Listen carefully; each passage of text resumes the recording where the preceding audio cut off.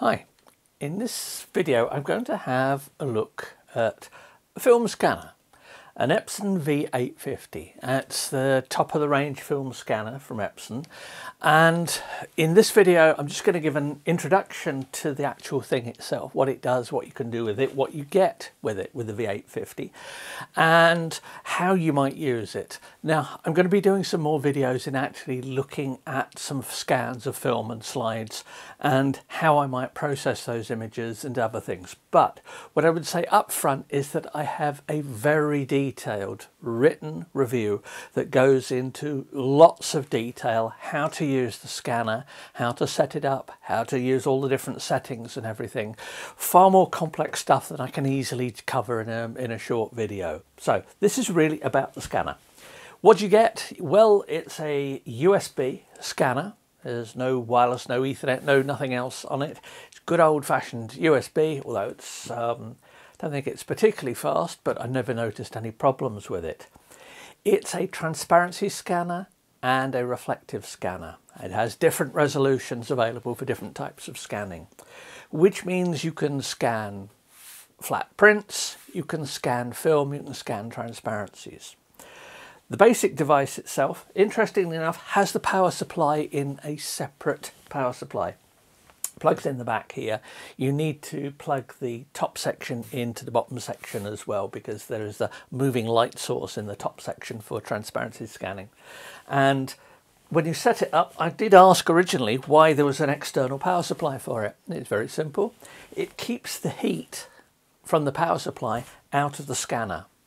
It help keeps the scanner at a nice even temperature so that you get good consistent results. Um, means that it's also a little bit lighter and it's no controls on it other than a scan button, which I've never particularly used, um, and a power button, and that is it. If I open the thing up, you can see as it's set up at the moment. Here's the reflective sheet. This is for reflective scanning. The scanning device just moves underneath the glass sheet here. As with all scanners like this, make sure you've got some good quality cleaning cloths, non-abrasive cleaning cloths, because dust that collects here, dust that collects in other places on your film um, holders and things like that, will potentially produce problems for you. Well, not problems, just more work in that you end up having to actually do some uh, do some cleaning of the images. Now, there's a lock in place. If you're going to transport it, there's a lock at the back. Make sure you activate that. That just locks the mechanism, stops it from sliding about in transport or anything like that. That's the setting you would use for trans for reflective scanning. If I take this off, we can see the moving light source that's used for transparency scanning. As you can see, it covers quite a large size. You can scan 10 by 8 uh, film with this. Uh, so you've got, if I was to re resurrect my uh, 5x4 uh, MPP camera here, put some film in the back of it, I could scan it in this and it's pretty good resolution. All the specs and everything, they're all in the written article. So I put links to the written article, but if you want technical details, look there because it's the sort of stuff I cover. It's much easier to cover in a written article than me just read out lists of specifications from tables and things like that. There we go. It's a basic scanner. What's different about this one to your ordinary ordinary desktop scanner? Well, you've got the light unit for starters. Um, because of the kind of scans it will do, it comes with quite a range of film holders. So here we go as a sheet uh, film holder. Now I could take sheet film out of this um, and scan it with that. There's some 5x4 stuff. Uh, I can scan larger formats. There's a spacer for it. Um, there's a holder for slides. Note carefully the lettering on it, it gives you a clue as to which way up things would go. Always a problem when you're scanning film or slides, as you put slides in a projector, put them in the wrong way around, everything's reversed. Um, here, check the writing on it. Once you've set, once you've loaded up everything into this, there are two little holes on the scanner body here where things fit and that just holds it in place. If I drop that into there. There we go, that's that set in there. This will hold it flat. There is an adjustment. Uh, there are little sliders, and this is on the, uh, here's the film holder for 35mm film. Uh, there are little adjustable sliders for lifting this off the surface for focus. Now, this was never covered properly in the manual, and if you get out of focus results, um, then you can adjust these little sliders. Uh, when I tried it originally, I never actually found much use for them. I just set them as not doing anything. Uh, but it will make a difference for if you've got thick slide holders, if they're in glass, various different things like that, depending on what size. Because you can put 35mm here, you can also scan larger format slides as well. So that's for slides, that's for 35mm film, so it takes several strips of it. There is, um, and I'm not sure whether this is particularly visible in the video, there is some slightly frosted film over this, and this is an anti-Newton uh, film, so it's slightly roughened surface so it holds your film flat while it's being scanned and hopefully doesn't produce any Newton rings. I never found a problem with it, but once again, that's something that can collect dust if you're not careful. There's the one for the 5 before and there is for larger format film. So medium format film, you want to pop it in here. Uh, as ever, there are holders that click into place hold your film in. And if you look at here, there's some instructions for loading, and it even tells you, reminds you that you're, there's the ABC telling you about the text, that you're going to have to flip it over and place it in a certain way around there. So, loading it up's pretty easy. Um, it scans very easily, and yeah, no problems in actually using it. So, have a look in the review. I've got details of trying different types of film and stuff like that and to wind it up. One or two other bits that are worth noting about this scanner. How are you going to drive it? Well, the Epson scanner software is surprisingly good. And it comes with a scanner. Now, Epson. Uh, this this is quite an oldish uh, device. This was first announced for Photokina in 2014, I believe. So it's been around for a few years. Hence why the software comes on a DVD. Well, actually, this is just a, a, a downloader. You go online to download the latest software. So that's not too bad. If you need if you don't have a drive, and a lot of computers these days don't have DVD drives, uh, all of mine are quite old, so they all have DVD drives. Um, you can just go to Epson Software Support, put in the name V850, uh, find it, and it will go straight through to the setup, and it will install the necessary bits of software onto your machine, uh, Windows, Mac, whatever. It'll just install the latest version, and it works very well the Epson scanner software, I say I've got examples in the um, in the main written review showing how you can select images and stuff. Now, I'm going to come back to this and actually do some scans in another video and look at some of the results from it. But if you want to see some of what I was able to get before, have a look in the review there. What else do you get with it? Well, usual set of uh, what's inside instructions for it. If you get the V850 rather than the V800, you get a spare set of film holders. Why is a spare set of film holders useful? Well, one of the biggest pains in doing much film scanning is loading the film into the holders. If you've got two sets of holders, you can be loading film into one whilst another one is scanning. And it will take several minutes if you scan at the highest resolution modes to get the detail from film. So if you're scanning 35mm negatives um, at high res, you can do preview scans, but to actually get them at high res, it's going to take you a few minutes per negative. Um, that time can mount up, gives you time to sort out your, your bits of film, what you want to do, and load things up into the holders there. So that's, that was just using the Epson software. Two other bits of software that come with this printer, which are of use and less use. Silverfast SE 8. Now, I know some people like Silverfast scanner software. Um, I wasn't greatly impressed when I first tried it. Um, I've used Hamrick's, Hamrick's VueScan for years. Um, I bought it years ago. It's continually updated. It is brilliant software. Um, I found that very easy to use. With this one, it's an old version of the software. It comes on a DVD. You will need to actually contact Silverfast and actually request a downloadable version. You've got a serial number here which you'll need to negotiate that, you'll need to set things up. And in fact the original software when I fired it up said insert your original your, your, your original disk for verification. Now that's not been done for years.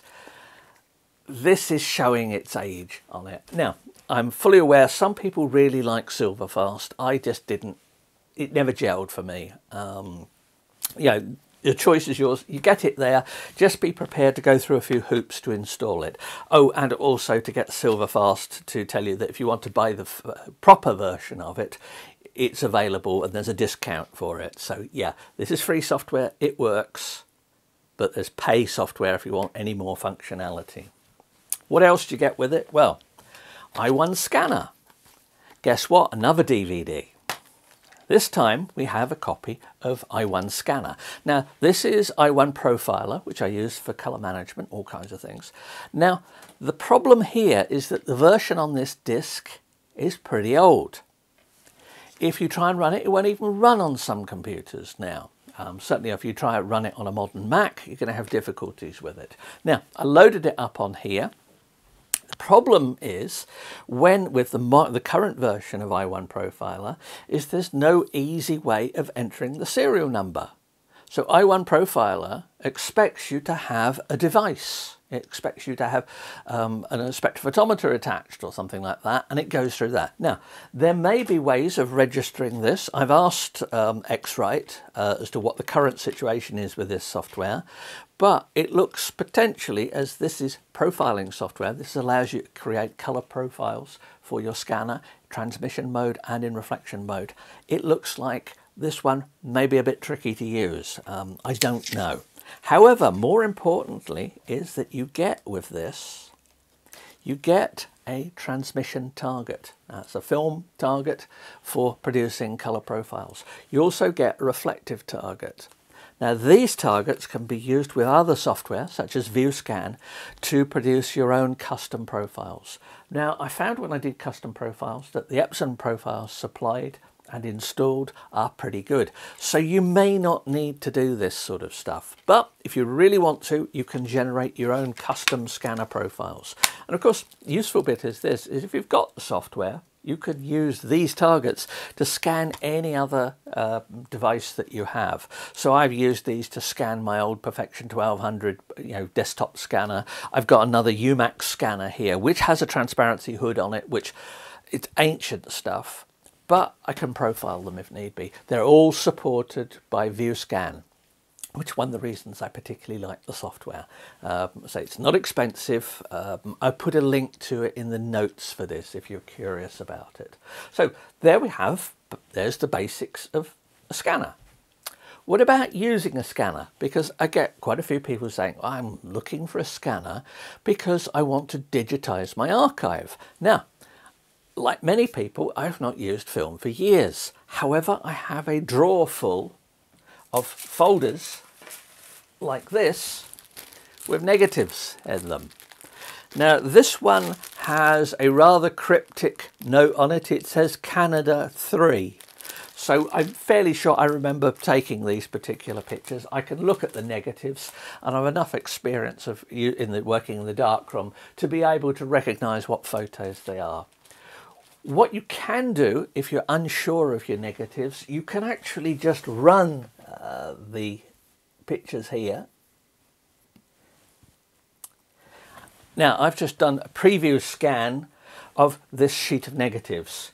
Um, it's not a very good quality scan because it's through the transparent envelope, but it's enough for me to be able to see exactly which pictures they are. Now that's for black and white mode. This is just using the Epson software uh, telling it that it was black and white negatives. There's colour negatives. Now, these are colour negatives, so they've got the orange film base on them, but the correction has produced a good enough version of it for me to look at these and think those photos were taken sometime in 1984 or 85. I have no idea who most of the people of them are. It's uh, when I was staying at university um, and I haven't a clue what they are. Now, here comes the problem with if you've got lots and lots of negatives. Scanning these properly takes a while. Loading them up into the holder here. All right, you've got two holders. If you've got the 850, going through the scanning, deciding what they are, doing preview scans, uh, doing sort of just you know just the equivalent of contact sheets almost. And there is no better way of curating your images from the past and deciding which ones are worth doing than having to spend time scanning.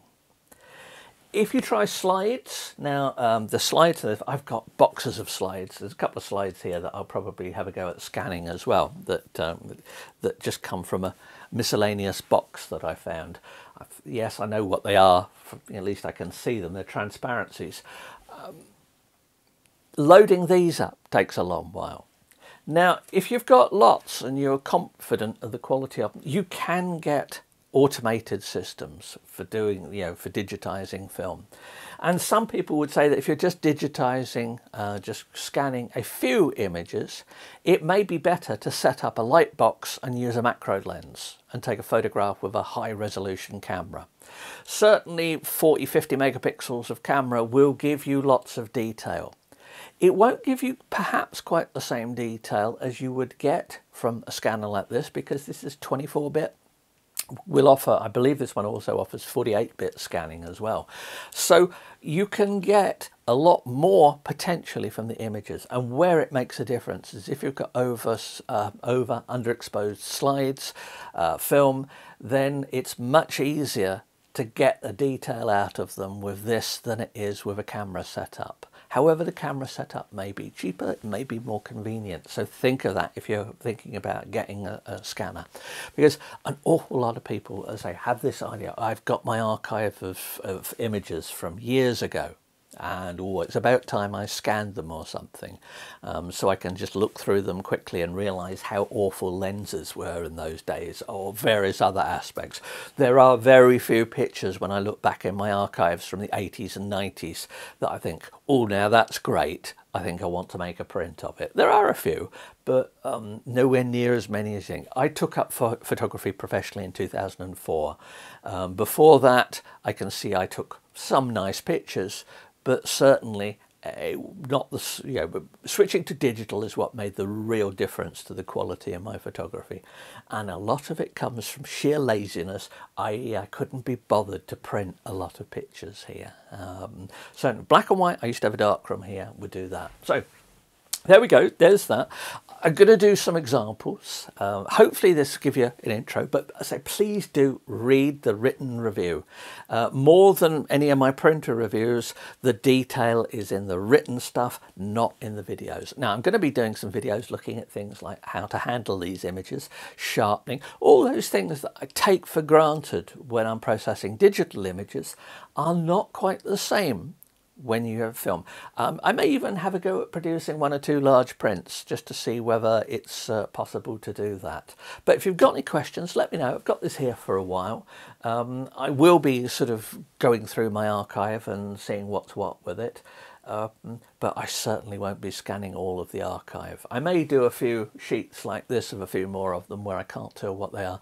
But most of the ones which don't have identification on them are from my time at university.